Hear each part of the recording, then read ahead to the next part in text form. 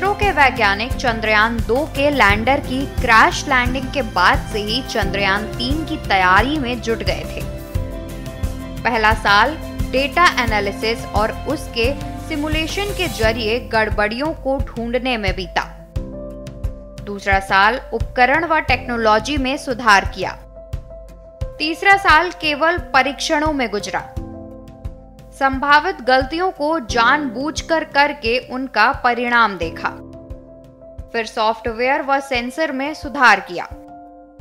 चौथा साल सभी प्रमुख केंद्रों के साथ बारीक संवन्य बीता।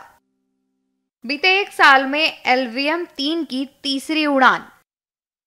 चंद्रयान तीन को आंध्र प्रदेश के हरिकोटा के स्पेस सेंटर से शुक्रवार दोपहर दो बजकर पैंतीस मिनट पर लॉन्च किया गया। फ्रांस दौरे पर गए, पीएम मोदी ने चंद्रयान तीन लॉन्च की बधाई देते हुए ट्वीट किया। पीएम मोदी ने कहा, चंद्रयान तीन ने भारत की अंतरिक्ष यात्रा में शानदार चैप्टर की शुरुआत की है। पीएम मोदी ने कहा, यह भारत के हर व्यक्ति के को छू रहा है। यह महत्वपूर्ण उपलब्धि हमारे वैज्ञानिकों के अथक समर्पण का प्रमाण है। मैं उनके उत्साह और प्रतिभा को सलाम करता हूँ। पीएम मोदी ने चंद्रयान तीन के लॉन्च से पहले ट्वीट कर कहा था भारत के स्पेस सेक्टर के क्षेत्र में 14 जुलाई 2023 की तारीख सुनहरे अक्षरों में लिखी जाएगी। चाँद की कक्षा की ओर प्रस्थान। आपको बता दें कि चंद्रयान तीन में एक लैंडर एक रोवर और एक प्रोपल्सन मॉड्यूल लगा हुआ है। इसका कुल भार 3,900 किलोग्राम है। चंद्रयान तीन के लॉन्च को देखने के लिए कई स्कूलों के करीब 200 स्टूडेंट्स स्पेस सेंटर पर पहुँचे थे। इस दौरान हज़ारों लोग स्पेस सेंटर पर मौजूद दिखे। इस मिशन में चंद्रयान का एक रोवर निकलेगा जो चाँद की सतह पर उतरेगा और लूनर साउथ पोल में इसकी पोजीशनिंग होगी। चंद्रयान तीन ने की अपनी लॉन्चिंग के चार चरण सफलतापूर्वक पूरे कर लिए हैं।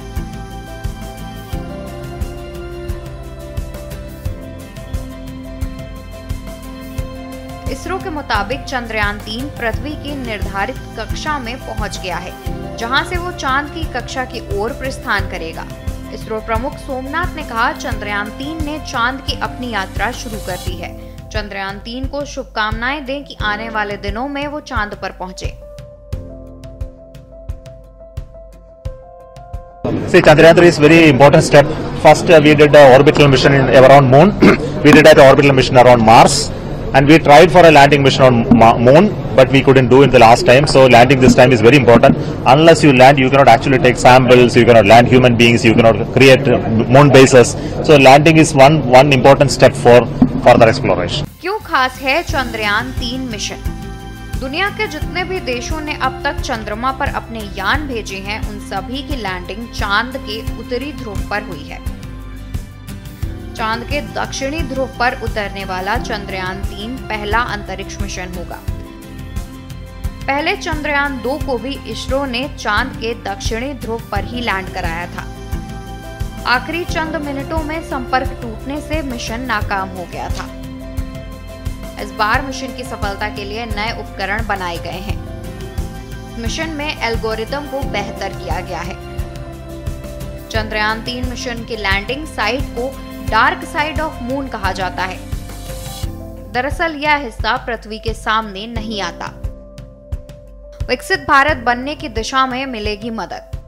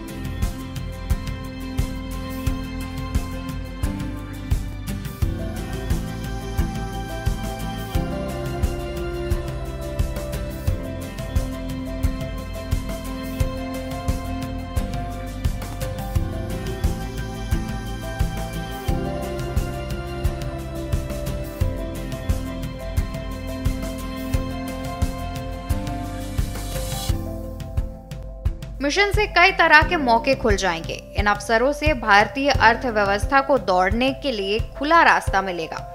चाँद पर खोज से जुड़ा यह मिशन धरती पर जियो के लिहाज से भी बहुत खास है।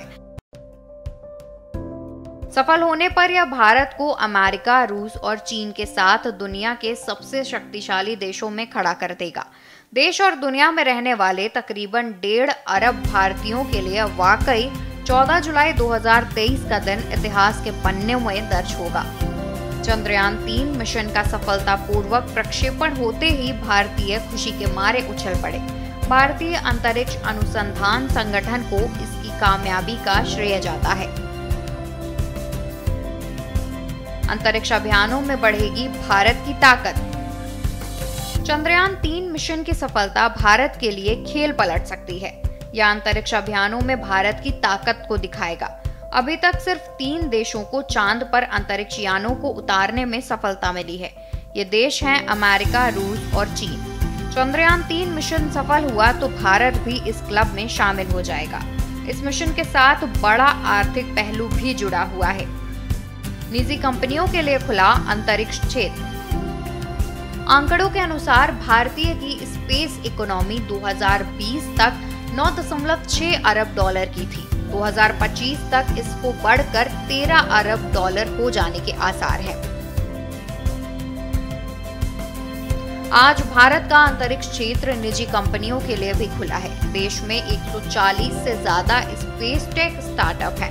इसमें sky root set sure Dhruva space और बेलाट्रिक्स जैसी कंपनियाँ शामिल हैं। ये ऐसी टेक्नोलॉजी बनाने पर काम कर रही हैं जिनका रोज़मर्रा के जीवन में इस्तेमाल है। ये कंपनियाँ सैटेलाइट आधारित फ़ोन सिग्नल, ब्रॉडबैंड ओटीटी से लेकर 5G और सोलर फॉर्म तक में स्पेस टेक्नोलॉजी का इस्तेमाल करने के मौके तलाश रही हैं। बता दें कि भारत के स्पेस सेक्टर में पैसा लगाने के लिए निवेशक ललायत हैं। स्पेस इंडस्ट्री में सरकार निजी सेक्टर का ज़्यादा पार्टिसिपेशन चाहती है। इसी मंशा से उसने भारतीय अंतरिक्ष नीति 2023 को मंजूरी दी है। यह निजी सेक्टर के लिए भारत के अंतरिक्ष क्षेत्र में निवेश की संभावनाओं को बढ़ाएगी पैदा होंगे रोज़गार के अवसर।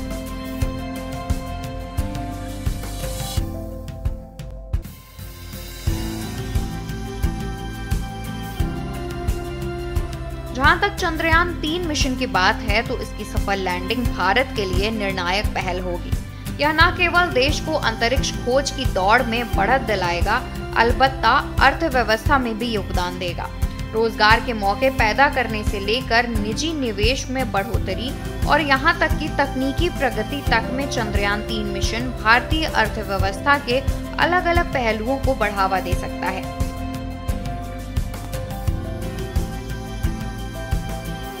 एक्सपर्ट कहते हैं कि अगर चंद्रयान तीन मिशन सफल हुआ तो यह उपलब्धि हासिल करने वाला भारत चौथा देश बन जाएगा। ऐसे निजी निवेश को बढ़ावा मिलेगा। गूगल जैसी कंपनियाँ पहले से ही भारत के स्पेस टेक स्टार्टअप में निवेश कर रही हैं। ताजुब नहीं करना चाहिए अगर चंद्रयान तीन मिशन की सफलता के बाद विदेशी कंपनियों की ओर से निवेश बढ़ जाए।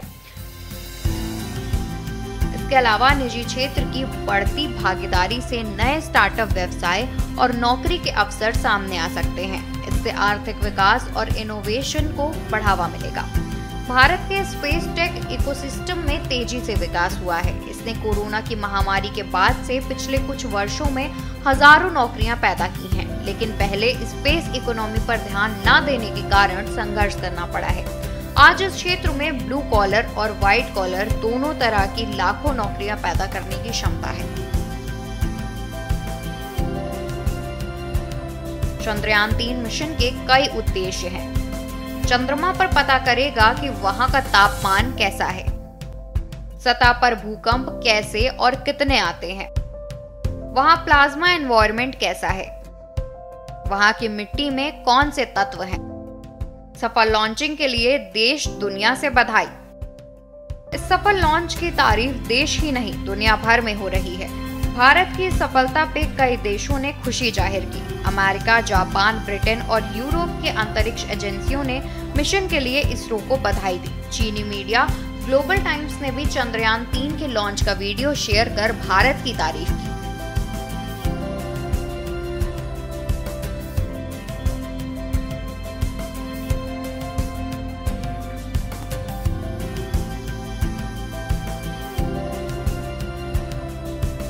चीनी अखबार ग्लोबल टाइम्स ने ट्वीट कर कहा, बधाई। भारत ने चंद्रयान तीन को सफलतापूर्वक ऑर्बिट में लॉन्च कर दिया है। स्पेसक्राफ्ट अगस्त में चंद्रमा पर सॉफ्ट लैंडिंग करने की कोशिश करेगा। अगर भारत इस कोशिश में सफल हुआ तो चाँद पर कंट्रोल्ड लैंडिंग करने वाला चौथा देश बन जाएगा। वहीं न्यूयॉर्क टाइम्स ने चंद्रयान तीन की लॉन्चिंग को भारत के लिए गर्व की बात कहते हुए लिखा भारत ने लूनर मिशन लॉन्च करते हुए इस साल की मून रेस जीतने के लिए मिशन शुरू कर दिया है।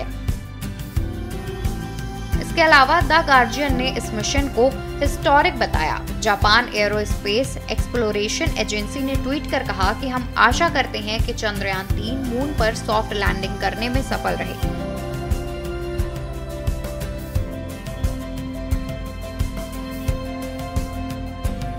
साथ ही रोवर सफलतापूर्वक अपने ऑपरेशन को अंजाम दे।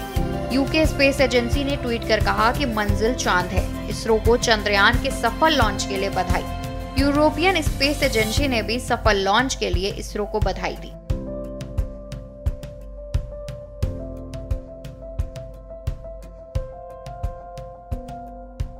इकतीस जुलाई तक ट्रांस लूनर इंसर्शन। चंद्रयान तीन अभी सोलर ऑर्बिट, यानी लंबे हाईवे पर यात्रा करेगा। 31 जुलाई को ट्रांस लूनर इंसर्शन को पूरा कर लेगा। इसके बाद करीब साढ़े पाँच दिनों तक चंद्रमा की ओर यात्रा करेगा।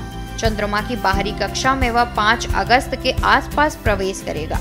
यह गणनाएँ तभी सही रहेंगी जब कुछ सामान्य स्थिति में होगा। कोई तकनीकी गड़बड़ी होने पर इसमें समय बढ़ सकता है।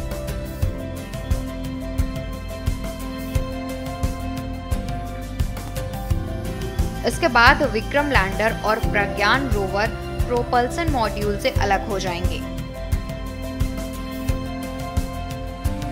100 किलोमीटर की अंडाकार कक्षा में लाया जाएगा। 23 अगस्त को डीबूस्ट यानी गति धीमी करने का कमांड दिया जाएगा।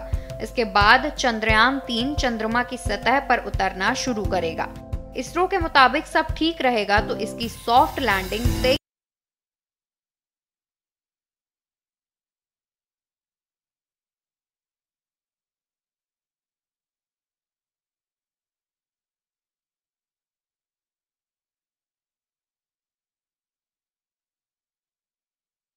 अगस्त की शाम पाँच बजकर सैतालीस मिनट पर होगी। इस बार विक्रम लैंडर के चारों पैरों की ताकत को बढ़ाया गया है। नए सेंसर्स लगाए गए हैं, नया सोलर पैनल लगाया गया है। पिछली बार चंद्रयान दो की लैंडिंग साइट का क्षेत्रफल आधा किलोमीटर का चुना गया था। इसरो विक्रम लैंडर को मध्य में उतारना चाहता था, जिसकी वजह से कुछ सीमाएँ थी। इस बार लैंडिंग का क्षेत्रफल चार किलोमीटर से ढाई किलोमीटर रखा गया है। यानी इतने बड़े इलाके में चंद्रयान तीन का विक्रम लैंडर उतर सकता है। विक्रम लैंडर के इंजन पिछली बार से ज़्यादा ताकतवर हैं। पिछली बार जो गलतियाँ हुई थी, उसमें सबसे बड़ी वजहों में से एक था कैमरा, जो आखिरी चरण में एक्टिव हुआ था। इसलिए इस बार उसे भी सुधारा गया है। इस दौरान विक्रम लैंडर के सेंसर्स गलतियाँ कम से कम करेंगे, उन्हें तत्काल सुधारेंगे।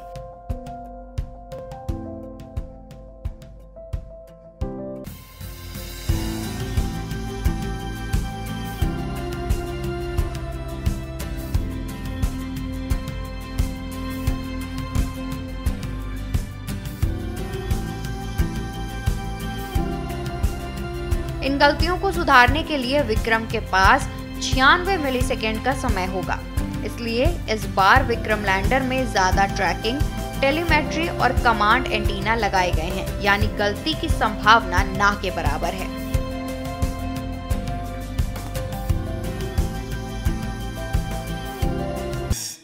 Indeed, a moment of glory for India and a moment of destiny for all of us over here at Sri Sriharikota who are a part of the history in making. Thank you, Team ISRO, for making India proud.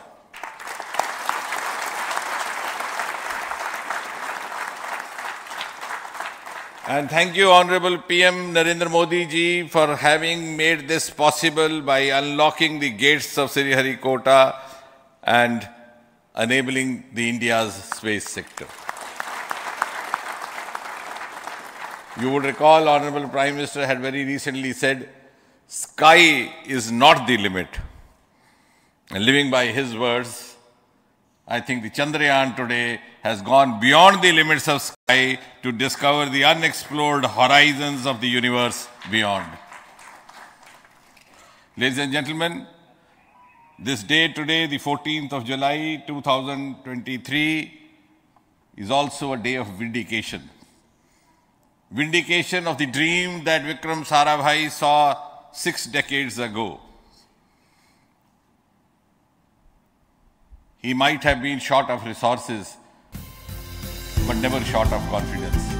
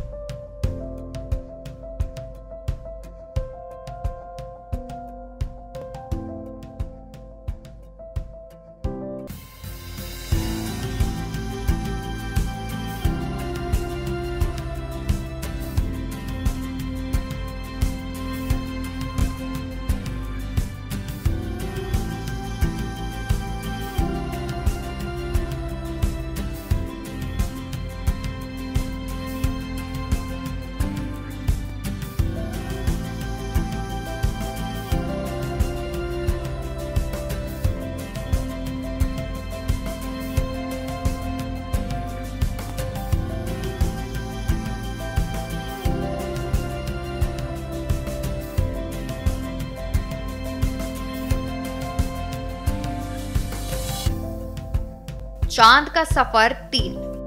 15 अगस्त 2003 तत्कालीन प्रधानमंत्री अटल बिहारी वाजपेयी ने चंद्रयान कार्यक्रम की घोषणा की।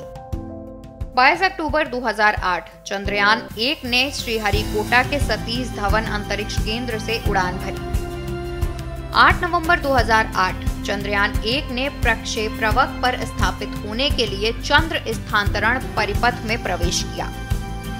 14 नवंबर 2008 चंद्रयान एक, चंद्रमा के दक्षिण ध्रुव के समीप दुर्घटनाग्रस्त हो गया, लेकिन उसने चाँद की सतह पर पानी के अणुओं की मौजूदगी की पुष्टि की।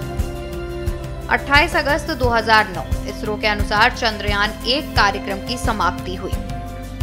22 जुलाई 2019 श्रीहरिकोटा के सतीश धवन अंतरिक्ष केंद्र से चंद्रयान दो का प्रक्षेपण किया गया। 20 अगस्त 2019 चंद्रयान दो अंतरिक्ष यान चंद्रमा की कक्षा में प्रवेश कर गया। 2 सितंबर 2019 चंद्रमा की ध्रुवीय कक्षा में चाँद का चक्कर लगाते वक्त लैंडर विक्रम अलग हो गया था। लेकिन चाँद की सतह से 2.1 किलोमीटर की ऊंचाई पर लैंडर का जमीनी स्टेशन से संपर्क टूट गया। 14 जुलाई 2023 चंद्रयान तीन श्रीहरिकोटा के सतीश धवन अंतरिक्ष केंद्र में दूसरे लॉन्च पैड से उड़ान भरेगा। 23 से 24 अगस्त 2023 इसरो के वैज्ञानिकों ने 23 से 24 अगस्त को चाँद की सतह पर सॉफ्ट लैंडिंग की योजना बनाई है, जिससे भारत इस उपलब्धि को हासिल करने वाले देशों की फहरिस्त में शामिल हो जाएगा। मनुष्य धरती का सर्वश्रेष्ठ प्राणी है, जो नया सोचता है और फिर उसे करके दिखाता है। भारत भी अब लेट ही सही, लेकिन अंतरिक्ष एक्सप्लोरेशन में सही दिशा में जा रहा है। बता दें कि आने वाले दशकों में वैश्विक ताकत वही होगा जिसका अंतरिक्ष पर कब्जा होगा। सारी इंफॉर्मेशन टेक्नोलॉजी मोबाइल मौसम यह सब अंतरिक्ष से ही गवर्न है। भविष्य में तो मनुष्य अंतरिक्ष में अपनी बस्ती बनाने की सोच रहा है। भारत भी कम से कम सधे कदमों में इस दिशा में आगे बढ़ रहा है। Special desk, K news, India.